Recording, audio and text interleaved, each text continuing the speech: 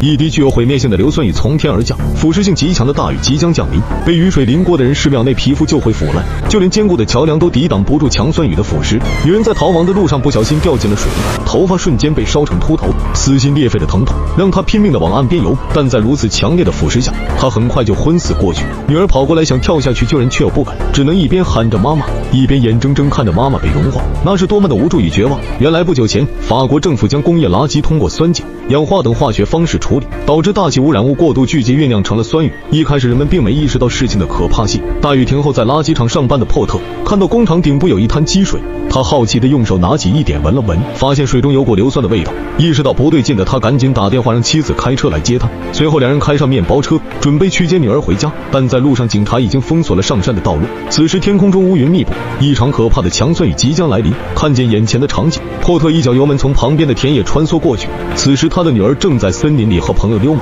完全不知道危险即将到来。这时意识到危险的马变得异常狂暴，因为动物总能先人一步感应到危险的到来。天空下起了小雨，被雨水滴到的地方都冒起了阵阵白烟。西亚立刻意识到不对劲，开始拼命的往马棚跑去。刚好碰到了来找他的父亲。在大雨到来之前，两人成功的躲进马棚，两人这才暂时的捡回一条命。但还没喘口气，珀特就看到马棚顶上有雨水滴下，这意味着马棚顶不了多久。赶紧打电话叫妻子开车来接他们。随后父亲用衣服盖住女儿，赶紧上了车。一家三口终于团聚在一起，母亲一刻也不敢耽搁，赶紧开车去找个能避雨的地方。然而还没走多远，就被堵得水泄不通。此时外面的场景就像人间炼狱，疏散人群的工作人员来不及躲避，被酸雨淋得遍体鳞伤。男人拼命地拍打路过的车辆，打开门让他进去躲雨。但珀特迅速告诉家人锁好门，可还没来得及锁，男人就打开门冲了进来，吓得珀特一脚把他踢了出去，然后急忙叫妻子倒车寻找其他出路。最后玛丽一脚油门，终于离开了塞车现场。但此时车顶已经有一些被酸雨溶解的迹象。不久后，面包车还是无法顶住雨水的腐蚀，抛锚在路上。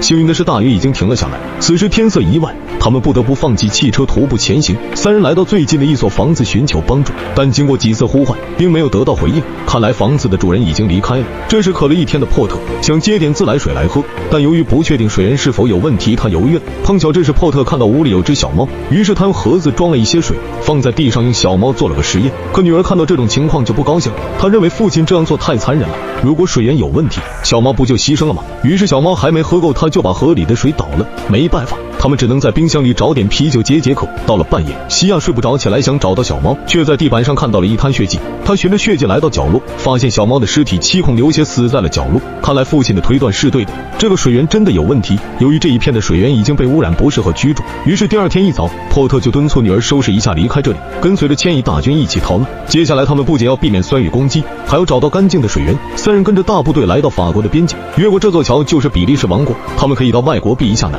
但由于桥梁的许多支撑部位都被酸雨腐蚀损坏了，为确保安全，几名佛伯勒堵住了桥头，只能让前一批人安全通过后，后面的人才能上来。但大家都想着尽快通过，后面的人拼命往前挤。霍特一家此时在拥挤的人群中身不由己，在混乱中，玛丽被挤了进去。他想回头拉女儿，但被警察推走了。桥中央也有警察催促大家赶紧过去。无奈之下，玛丽只能三步一回头的往前走。但走到一半，桥顶突然倒塌，巨大的石块砸了下来。人们见状纷纷往回走，但一些人想往后退，一些人想往前走。就这样，玛丽被挤在中间，动弹不得。这时，桥的栅栏支撑不住，突然断裂。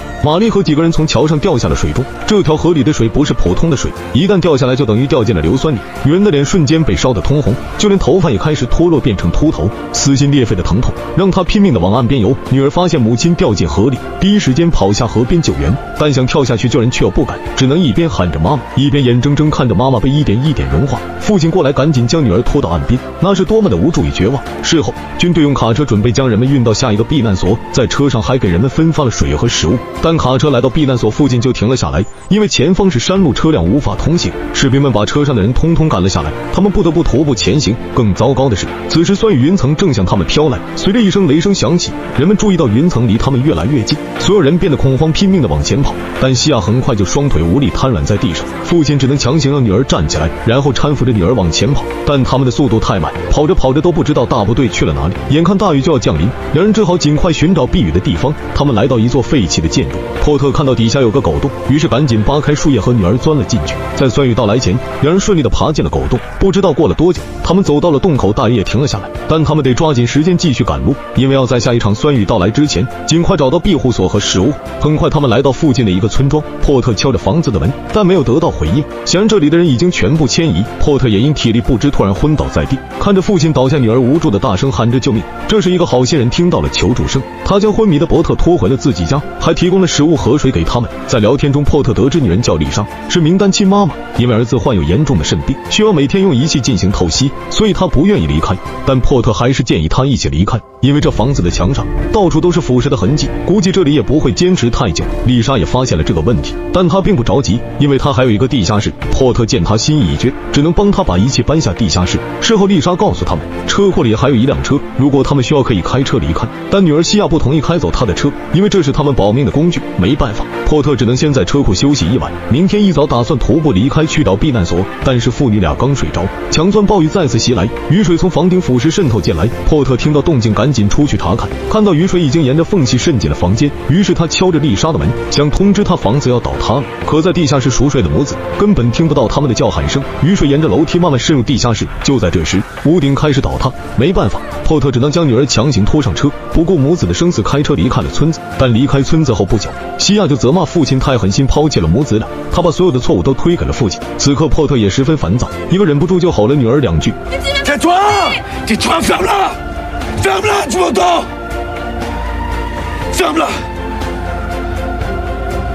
说完，珀特就下车想抽根烟冷静一下。他对自己的无能为力感到愧疚，他何尝不想去救人？然而被吼了两声的西亚受不了委屈，跑下了车，生气地向村子跑去。珀特平静下来后，发现周围布满了一个个水坑，原来这里有一条排水管在漏水。他急忙回到车里，想离开这里，但发现女儿不在车上。珀特慌张地开始四处寻找。这时，西亚也意识到周围的危险，他慌张地跑到了一辆废弃的拖拉机上，嘴里不停地喊着爸爸。但拖拉机正在慢慢陷下去。珀特听到女儿的叫喊，一脚油门冲过去，但好死不死，车子陷入泥潭，动不了了。见拖拉机越陷越深，珀特为了救女儿不得不下车，忍受酸水腐蚀的疼痛，来到女儿面前，女儿也毫不犹豫地跳到父亲的背上。就这样，珀特背着女儿艰难前行，千辛万苦终于回到车边，看着痛苦的父亲，西亚也意识到了自己的错误，赶紧将父亲拖上来。此时珀特已经昏死了过去。到了第二天，父亲的腿已经被严重腐蚀。就在西亚不知所措的时候，一辆路过的救援队发现了他们，并将两人带到了避难所。在避难所里，西亚看到了那个男孩也被送到到这里来，但他的母亲没在他的身边。